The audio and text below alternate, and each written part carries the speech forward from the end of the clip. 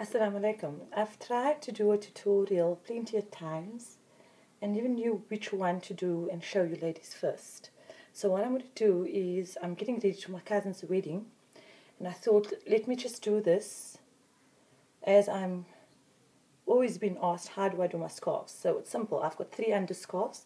They're quite nice and broad. They cover the front and I'm going to layer it.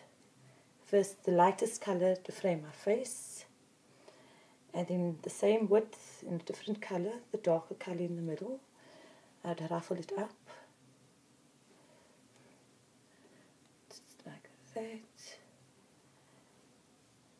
And then I have the third color, which is the brighter color that I would also ruffle up. Okay, so that's my underscarves, creating nice height. My hair I've pinned in a bun with a clip at the bottom. I don't wear an enhancer. I've got quite long hair. And then I pop the scarf over. This is one of those no pin scarves that I make myself. It's from the fabulous in hijab scarves. There we go. So what I do is this one I would pin at the bottom.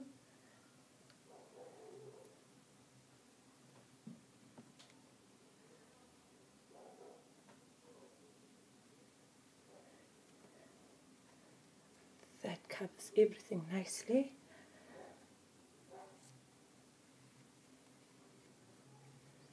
And then the second one, as you can see, I've color coded my scarf. That I will just drape over. Like that.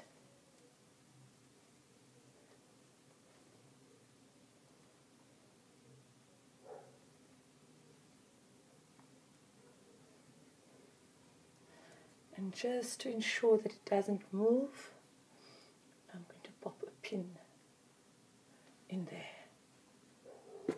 And there we go. That's an open scarf.